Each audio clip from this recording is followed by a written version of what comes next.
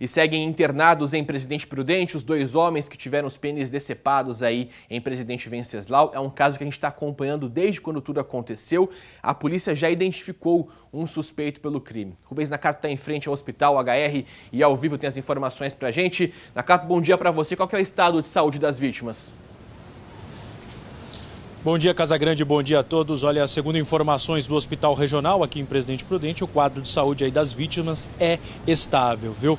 O pior deles era o homem de 48 anos que chegou a perder bastante sangue, mas progrediu bem e chegou, né, a essa situação, como está hoje, como o hospital informou. O delegado responsável, né, pelas investigações aí da DIG de Presidente Venceslau já esteve aqui no HR para falar com a vítima de 63 anos que deu detalhes do que aconteceu e também também a descrição de quem o atacou. Com isso, a polícia conseguiu avançar nas investigações e informou aí, né, que identificou um suspeito pelos crimes, é um homossexual de 30 anos que não teve a identidade revelada. Esse suspeito foi interrogado em Presidente Venceslau na delegacia e liberado em seguida, viu? A principal hipótese é de que uma mesma pessoa tenha cometido as ações registradas no início da semana e que chamaram a atenção, chocaram pela crueldade. Olha, conforme o registro policial e também o depoimento da vítima de 63 anos, que diz que contratou aí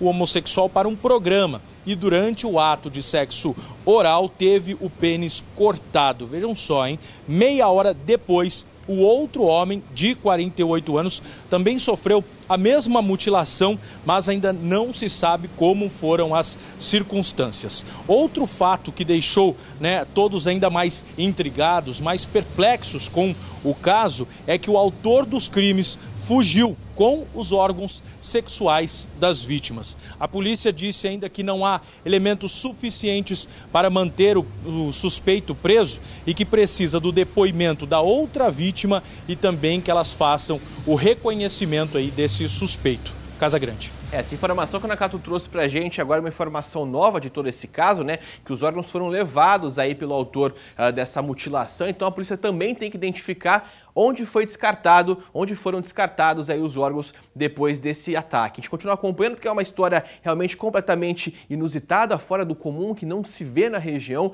e também tem a situação que eles continuam internados, como o Nakato trouxe ao vivo pra gente. Obrigado, viu, Nakato, pelas informações aí uh, do nosso Oeste Paulista em Presidente Prudente.